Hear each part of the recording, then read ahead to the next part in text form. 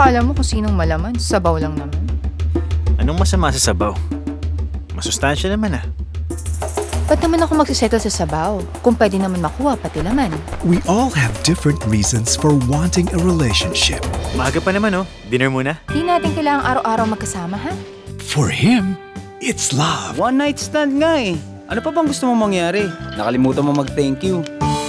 Pag ganun ba dapat mag-thank you? For her, it's fun. Kailangan mo ng diversion, ng release. Yun ang kailangan mo. Baka mali mo magka-jowa ka pa. Hindi nga kaya ng oras ko, ng pera ko, ng... Gets kita. Ah, get, gets.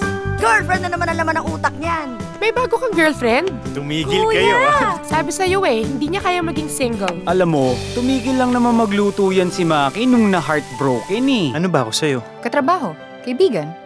How do you make your love official when officially your relationship isn't even official? From film director Kathy Garcia Molina. Sa bawat isa kasing pinipili, may isang libong bagay kang tinatanggihan. Eh paano kung patunayan sa'yo ng isang pinili mo? Nahigit pa siya sa isang libong tinanggihan mo. Pwede bang maging tayo na lang? Alam mo, lahat ng ganyan, ang ending yan, hiwalayan din. Saka di na uso.